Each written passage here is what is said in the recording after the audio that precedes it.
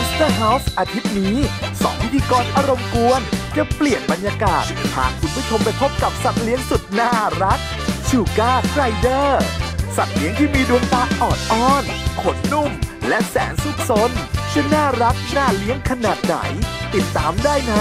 รายการ Monster House อิตาปูลาหูดาเดาวเดี๋ยวเดี๋ยวเดี๋ยวอะไร